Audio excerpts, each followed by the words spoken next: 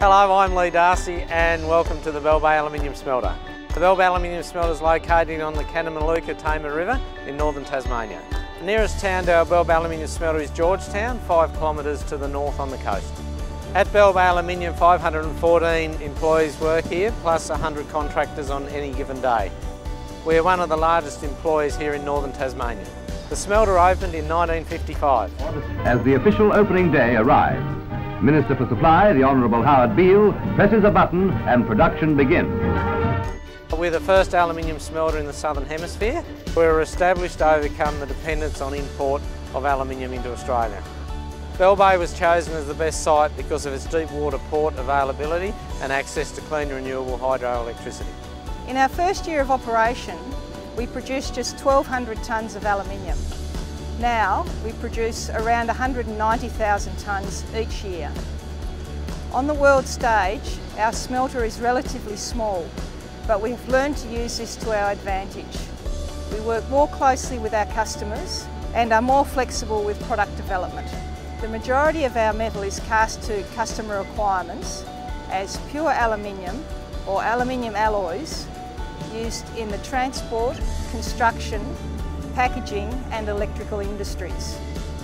More than 90% of Bell Bay's value-added production is transported off the island and exported to key international markets, predominantly in Southeast Asia, East Asia and India. Aluminium is now more than ever the metal of the future.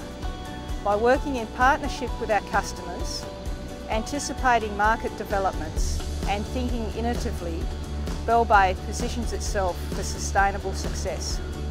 Innovation is at the core of what we do. We continue to invest in a range of leading technologies and we're always looking for ways to do things better. We strive to become more energy efficient, increase our productivity and reduce our use of natural resources.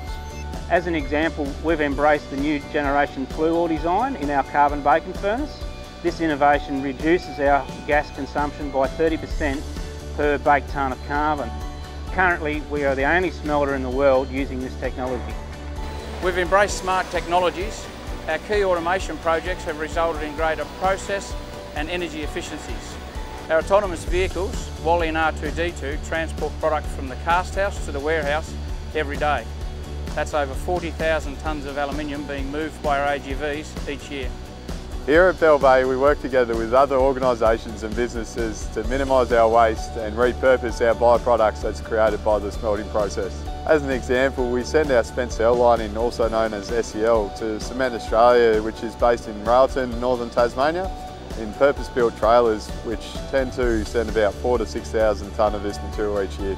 So this spent cell lining is used at Cement Australia as an alternate fuel source for them in their process. We hold a tree planting day with schools in the George Town community each year.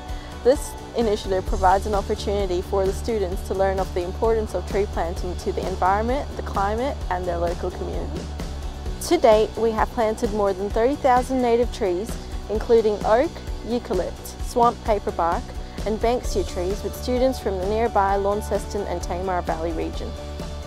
We have a long and proud history of contributing to the Tasmanian community through enduring relationships built on mutual respect, collaboration and genuine partnership. Bell Bay's Community Grants program offers assistance annually to community-based groups and organisations across Tasmania. We provide financial support to organisations that positively support the Tasmanian community in key social, environmental and economic focus areas. Our role in economic and social development focuses on strategic initiatives that support opportunities for the future. By supporting the community we operate in in this way, we will attract people to invest, work and come and live in this beautiful part of Tasmania. For example, we have partnered with George Town Council and the Australian Government to develop the George Town mountain bike trails.